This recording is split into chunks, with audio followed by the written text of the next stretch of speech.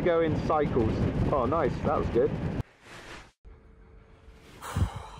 What a day. Um, just come back from the beach after the, the finals of uh, the Pozo World Cup here, 2024. I had my heat yesterday. Um, I didn't get to film anything yesterday, sort of live as it were.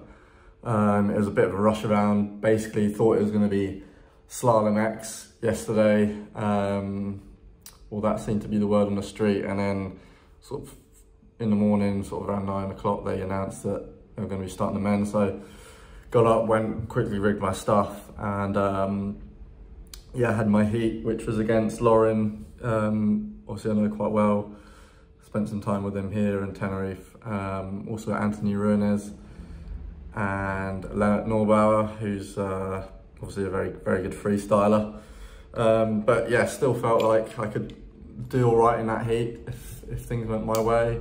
So yeah, thoughts on my heat. Uh, had to come in um, just before it started because um, I just saw that my mask wasn't in right. So I actually missed the first maybe minute or, or two of my heat, which wasn't ideal, but um, I was still feeling pretty calm and 16 minute heat, so I still had 40 minutes to, to you know, a good amount of time to do my stuff out there.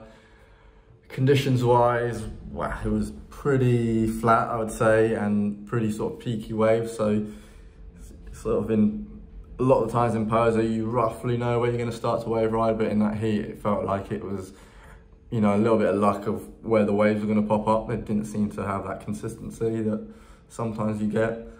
So it was pretty hard and speaking to the guys, they found it pretty hard as well to wave ride um, and to find the jumps as well. But um, I think I got uh, an all right stall forward um, and then a normal back loop and then a one-handed back loop, which I landed all the way. But um, I later kind of found out or figured out that the judges, I don't think saw it, which is slightly frustrating. Um, and yeah, I think a one-handed back loop landed all the way, fairly clean. Um, should score some good points and they gave me, I think it was a three. Um, and I, I know it wasn't obviously a big one, but uh, for example, another back loop in the heat from some of the other guys, which gets like a four, um, you know, a small back loop. Um, and then you start to see that it doesn't quite add up. So slightly annoyed at that. Um, and that might have made a difference in going through.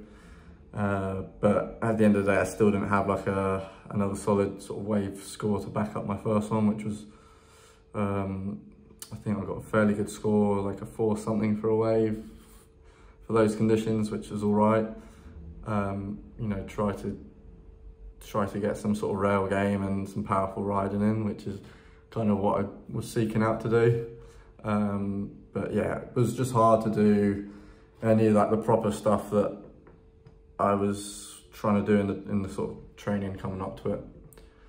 So yeah, I kind of, kind of came away with mixed feelings about that one. Um, but anyway, I think we should be on tomorrow for a double elimination. Hopefully I get a nice draw um, and I can make it through a heat. That would be really nice.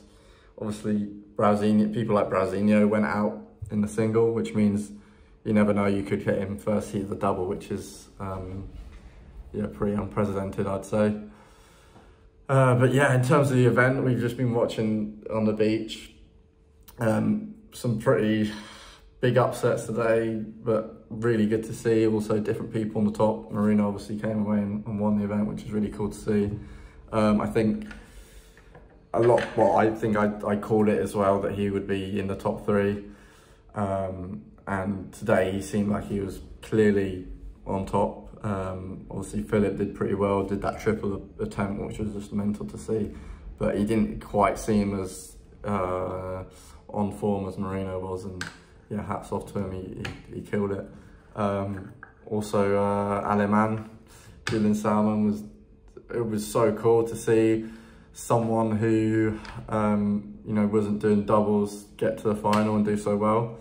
Um, I think it just goes to show that you know, with a good wave riding style, you know, big sort sort of solid, big solid jumps that you don't need to um, you don't need to do doubles these days, which is which is pretty incredible because the vibe around here is if you don't have a double, you're you're not going to do it well at all. So um, I love to see that. Also Dieter as well, not doing doubles, getting to the losers final. So overall, really cool to see it being mixed up a little bit today. Um, and yeah, I think what was the last thing? I mean, yeah, the, the new format is is another thing that's kind of new this year.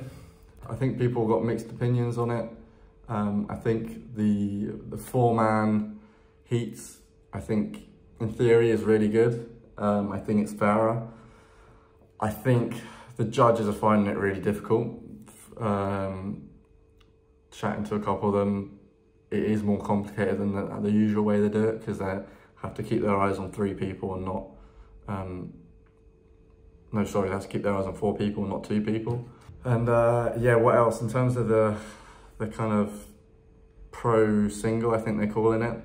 I think you can get away with doing a single and a double just because it's, I mean, they've done it for years and they've, they've been able to do it because it's so windy and you, you've got the time to do it here. So at the start, I thought maybe it could be quite a good idea, but now I'm thinking about it more and more, I'm, I'm not so convinced on it. I mean, people like Brawzinho, who, you know, maybe just have an off heat in the single, there's no way he can come back anywhere near the top three anymore, so, or the top 10 even, so um, it sucks for those guys. It's a little bit fairer than obviously just a single, but um, yeah, I'm not sure, but would be good to hear your thoughts about it. Um, and yeah, hopefully provided you a little bit of info and uh, I'll keep you updated for the double that I'll be in tomorrow. But obviously with the new format, the double elimination, you can only go like the best you could theoretically do is like a up to the 10th position, I think. So um, yeah, but uh, excited to, you know, see if I can push myself a little bit more because the single was, um, yeah, I've had mixed feelings about that one. Could have done a bit better, maybe could have advanced, I don't know, but um, let's see.